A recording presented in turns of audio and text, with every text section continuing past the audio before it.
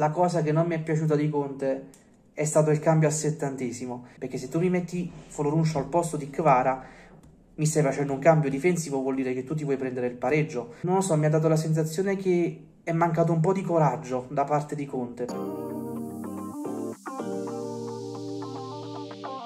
Buon pomeriggio ragazzi, ben ritrovati sul canale oppure benvenuti se siete nuovi e voi nuovi mi raccomando iscrivetevi al canale perché è totalmente gratis e attivate poi la campanella per rimanere sempre aggiornati. Allora, buona domenica a tutti ragazzi, oggi siamo qui riuniti per fare le pagelle di Juventus Napoli 0-0, vi avviso già che saranno pagelle abbastanza rapide perché di roba da dire questa partita ce n'è veramente poca perché come ho detto ieri nel post partita che trovate nelle schede.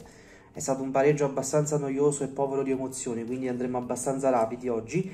Eh, scrivetemi nei commenti ragazzi le vostre pagelle. Fatele senza troppi problemi perché tanto io poi me le guardo e mi fa piacere sentire anche le, il vostro parere. Detto questo cominciamo subito e partiamo con Meret che si prende il 6, un 6 che in realtà è un senza voto, perché ragazzi eh, la Juventus non ha creato pericoli, non ha creato pericoli, Meret eh, non si è visto quasi mai, io non mi sono neanche accorto di avere un portiere in campo, poi esce al trentesimo per un, un infortunio, mi pare di aver letto affaticamento muscolare, quindi non dovrebbe essere niente di, di, grave, esagerando secondo me salterà solo la partita di Coppa Italia. Quindi gioca mezz'ora, in quella mezz'ora non si è visto niente, quindi si prende il 6 giusto perché ha giocato mezz'ora, ma secondo, sarebbe un senza voto tranquillamente. Buongiorno, si prende il 7. Allora, i due centrali ieri molto molto bene, hanno assorbito molto bene quelle volte dove la Juve ha provato a fare qualcosa di pericoloso. Buongiorno ragazzi, ormai abbiamo avuto, cioè, stiamo avendo la certezza giornata dopo giornata eh, di, di ciò che lui è, cioè un grandissimo difensore, a mio avviso in questo momento è anche uno dei migliori in Serie A. Abbiamo trovato con un anno di ritardo il giusto erede di Kim e anche ieri, sera, anche ieri pomeriggio comunque ha fatto una grande partita difensiva e quindi gli do il 7. Do il 7 anche a Rachmani che per me ieri è stato più efficace di Buongiorno Rachmani ieri si è messo nelle tasche Vlaovic, no? Avete presente no, quel meme del difensore che svuota le tasche, trova le chiavi di casa, trova il portafoglio, Rachmani svuotando le tasche si è ritrovato anche Vlaovic. E ragazzi non è un caso che lui sia tornato a fare bene proprio quando gli hai messo vicino un difensore forte, perché Rachmani, diciamo tutto sommato, è un difensore normale, ok? Non stiamo parlando di un grandissimo calciatore, di un difensore che ruba l'occhio è un difensore funzionale che diventa più efficace quando vicino gli metti un difensore più forte di lui, che diciamo gli dà sicurezza. Facciamoci caso, vicino a Koulibaly Rachmani ha dato il meglio di sé, vicino a Kim ha dato il meglio di sé, vicino a Buongiorno sta dando il meglio di sé. Quella volta in cui è stato chiamato in causa dove lui doveva essere il difensore leader, cioè l'anno scorso, Rachmani si è visto veramente il peggio. Ecco, quindi io non sono sorpreso dal, dal rendimento che sta avendo Rachmani perché è quel classico difensore che messo vicino a un altro più forte automaticamente alza il suo livello. Quindi eh, per me si prende il 7 ieri sera. Mi è piaciuto più di buongiorno, ecco lo dico. Di Lorenzo 6. Allora, faccio un discorso che per me è lo stesso anche per Olivera Ieri secondo me sono mancate un po' le sovrapposizioni dei terzini. Ora vi farò vedere in post editing le hitmap di Di Lorenzo Olivera. Come potete vedere non c'è stato tantissima spinta offensiva da parte dei terzini. Di, di Lorenzo lo ha fatto sicuramente più di Olivera, ma poca roba. Sono mancate le sovrapposizioni dei terzini e infatti Politano e Kvara ne hanno risentito eh, quando attaccavamo eh, Kvara e Di Lorenzo erano abbastanza isolati. Sia per Di Lorenzo che per Olivera ho tolto un mezzo punto perché la spinta offensiva non c'è stata. Poi bisogna capire se quella spinta offensiva è mancata perché gliel'ha detto Conte o perché magari non se la sentivano, ma io penso che sia stata un'indicazione di Conte. Tolto questo, il lavoro difensivo di Di Lorenzo ieri è stato ottimo. Nel primo tempo però secondo me ha lasciato un po' troppo libero di crossare Ildiz Infatti il primo tempo la Juve attaccava molto dalla sinistra con questi cross di Ildiz che poi andavano sul secondo palo. Lì secondo me lo ha fatto crossare un po' troppo, con un po' troppa libertà, però nel complesso il suo lavoro difensivo è stato decisamente ottimo e si è fatto valere anche sui duelli aerei. A Olivera invece il seno glielo do, eh, gli do 5,5 perché oltre a non aver spinto non mi ha dato garanzie dal punto di vista uh, difensivo. Dal suo lato c'era Nico Gonzalez che non ha fatto questa grande partita, però non ho avuto la percezione che mi ha dato Di Lorenzo lato difensivo, ecco, quindi Olivera non solo non ha spinto, ma anche, secondo me, ha fatto una fase difensiva abbastanza rivedibile, ecco, quindi gli do il 5,5 per questo motivo. Lobotka 6,5. Uh, il solito Lobotka, eh, c'è poco da dire, una pulizia dei palloni che ormai è diventata un marchio di fabbrica di Lobotka, sempre attento, sempre lavoro difensivo a sostegno dei difensori. È il classico Lobotka che siamo abituati a vedere, quindi non mi soffermo neanche troppo su di lui ragazzi, perché Lobotka ormai lo conosciamo. Do ad Anghissa 7, si sta rivedendo l'Anghissa dello scudetto. E perché si sta rivedendo l'Anghissa dello scudetto? Per lo stesso motivo che di cui parlammo contro il Cagliari, perché il Napoli eh, difende compatto. Bene o male siamo sui livelli di Cagliari. Ho voluto fare un confronto per curiosità, per vedere se, era, se, se erano stati più compatti contro la Juve o contro il Cagliari. Eh, la compattezza è stata migliore contro il Cagliari, perché il baricentro contro il Cagliari era lungo 22 metri, contro la Juve invece 26 metri, quindi leggermente meno compatti rispetto a Cagliari L'altezza contro il Cagliari era di quasi 49 metri, contro la Juve 51,5, quindi il Napoli è stato più alto rispetto al Cagliari, la larghezza siamo lì. A differenza del Cagliari, leggermente un po' più lunghi, ma blocco alto, ok? Quindi ancora una volta Anghissà ha goduto della compattezza della squadra eh, e di questo blocco ecco, in fase non possesso. E ragazzi, quando lo spazio è compatto, quando lo spazio è poco, quando non ci sono i tronconi tra, centro, tra attacco e difesa, Anghissa ne giova. E occhio perché ragazzi, con questo 4-3-3, che poi in realtà non è stato proprio un 4-3-3, e con questo McTominay messo dentro eh, diciamo l'11 titolare, Anghissa ha molti più compiti difensivi ok? È quella mezzala che pensa più a dare equilibrio e a occuparsi della fase difensiva mentre McTominay si butta in avanti. Passo a questo punto a McTominay che per me si prende il 7 e come ho detto ieri per me migliore in campo. McTominay è stata la mezzala offensiva non è stato propriamente un 4-3-3 come ho detto ieri nel post partita perché l'ho rivista anche la, partita. McTominay ha agito da trequartista perché anche, se vedete anche la hit map si vede chiaramente che lui ha agito sulla tre quarti e molto spesso si andava anche ad alzare sulla linea di Lukaku andando quasi a formare un 4-2-4 o meglio un 4-4-2 perché Cavale e Politano stavano un po' più dietro quindi diciamo che di base era un 4-2-3-1 e ragazzi il 4-2-3-1 con questi interpreti si può fare, perché tu comunque c'hai una mediana come lo bot che anche sa che difensivamente sa fare il suo lavoro, c'hai un trequartista come McTominay che ti fa la doppia fase, perché comunque McTominay ieri eh, si è fatto sentire anche in fase difensiva, ha vinto dei duelli e è tornato a coprire. C'hai due esterni come Kvara e soprattutto Politano che ti fanno tanto lavoro difensivo. Quindi il 4-2-3-1 con questi calciatori lo puoi fare tranquillamente perché c'hai centrocampo e tre quarti che ti fanno lavoro difensivo. McTominay ieri praticamente eh, ha fatto l'unica azione pericolosa che ha impensierito di Gregorio, quel tiro da fuori area. Eh, ragazzi, McTominay il tiro da fuori area ce l'ha e secondo me andrebbe sfruttato molto di più, di Gregorio non l'ha saputa trattenere. E quindi quella palla vagante poteva diventare un pericolo, infatti Lukaku per poco non andava a prendere e faceva anche gol, quindi il, il tiro da fuori ragazzi è fondamentale perché è imprevedibile, può sempre crearsi un pericolo da quelle palle, quindi per me l'impatto di McTominay ieri è stato ottimo e porta a un cambio tattico che può diventare importante da questo momento in poi.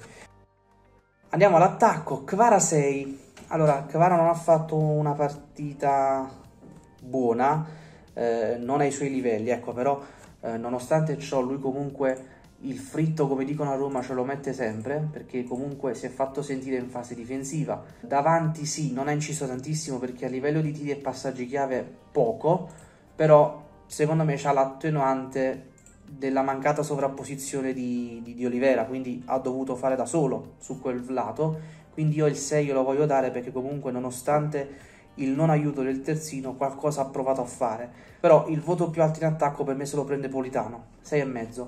Allora, Politano ragazzi fa tanto lavoro sporco, sì, poi le decisioni le ha sbagliate, ma io penso che le decisioni sbagliate siano una conseguenza, cioè quando un attaccante fa tanto sacrificio dietro, fa tanto lavoro difensivo.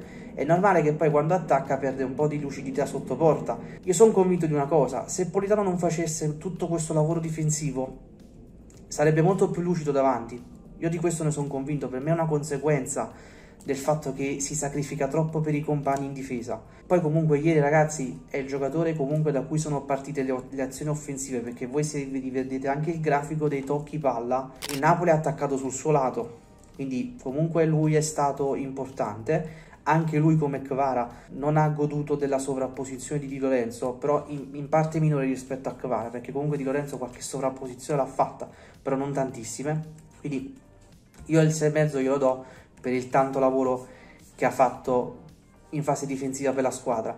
Ed è per questo ragazzi che Politano gioca. È uno dei pochi esterni che ti fa tutto questo lavoro difensivo. Ed è per questo che parte sempre avanti rispetto a Neres perché ti dà l'equilibrio.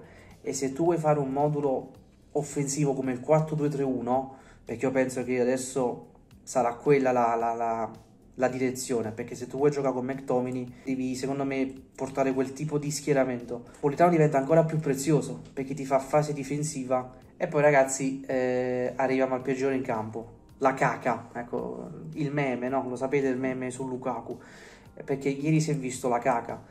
Eh, gli do il 5, peggiore in campo. Bremer ha stravinto il duello ieri, pochi appoggi, duelli fisici con Bremer la maggior parte persi poi lui molto spesso si allargava sulla destra appunto per permettere a McTominay di inserirsi, quindi il 4-2-4, ok? Lukaku centrodestra, McTominay centrosinistra. E dico una cosa, occhio, perché secondo me il cambio modulo potrebbe incidere in negativo su Lukaku, perché? Perché fino a mo' Lukaku perché ha reso bene?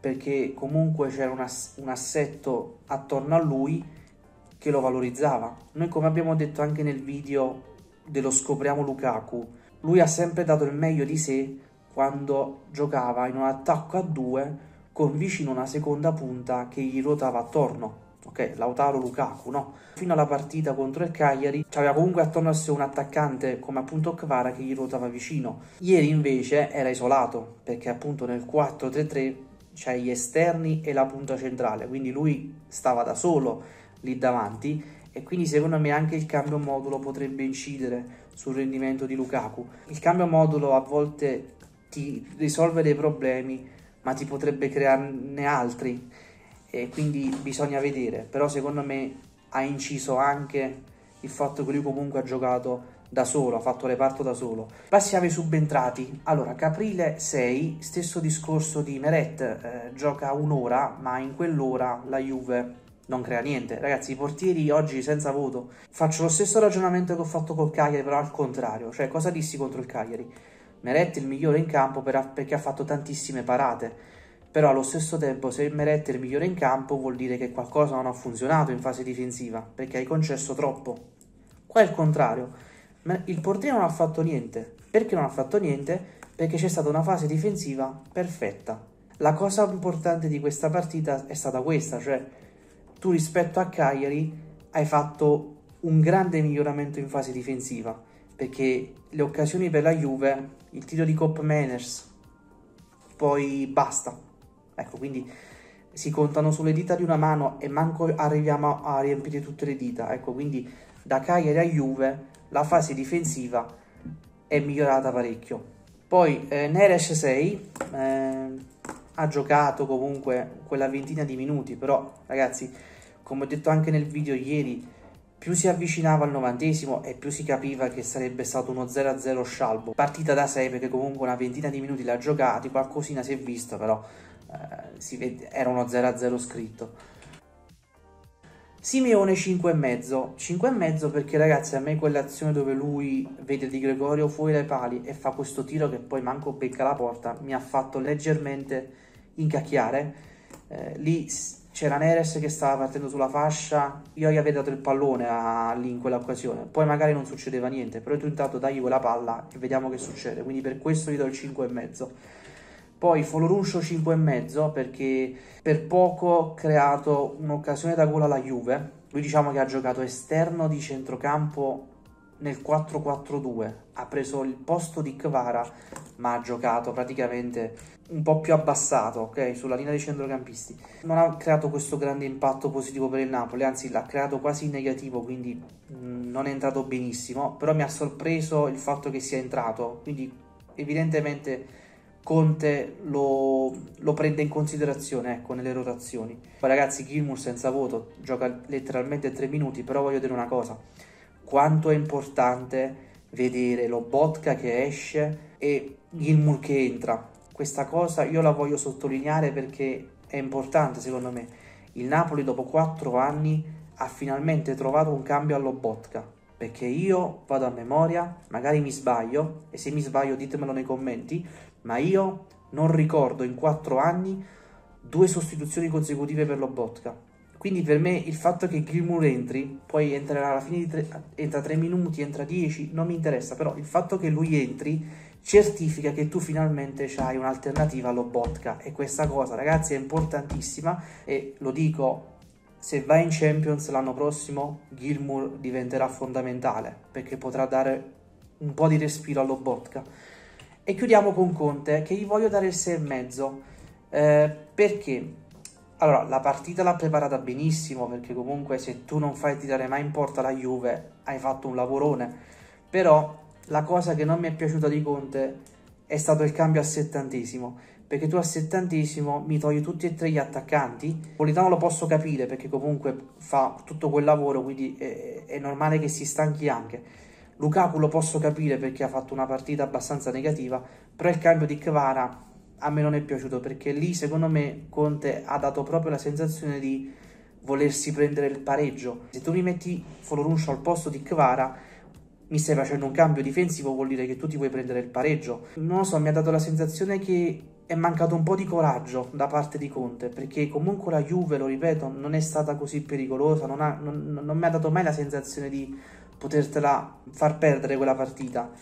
Io avrei un pochettino osato. Questo cambio Kvara-Foloruncio mi ha dato proprio la percezione di, del prendiamoci questo pareggio e non rischiamo, ecco, l'ho letta così sta cosa. Poi durante, diciamo, nei minuti finali anche, si vedeva chiaramente Conte che diceva calma, difendiamo, prendiamoci questo punto. Ecco, questo non mi è piaciuto di Conte, che si è accontentato del pareggio e quindi ragazzi, queste sono state le mie pagelle di Juventus Napoli, ditemi le vostre nei commenti, mi raccomando lasciate un bel like se il video vi è piaciuto, iscrivetevi che è totalmente gratis e poi attivate la campanella per rimanere sempre aggiornati sull'uscita dei nuovi video. Detto questo ragazzi, noi questa settimana abbiamo la partita, diciamo, tra virgolette infrasettimanale perché giovedì c'è la Coppa Italia contro il Palermo, un Palermo che Ieri ha pareggiato in casa 0-0 contro il Cesena, quindi un Palermo che comunque non sta vivendo un periodo positivissimo. Quindi detto questo, ragazzi, forza Napoli sempre. Eh, buona domenica a tutti, buon proseguimento di domenica e noi ci vediamo alla prossima. Ciao!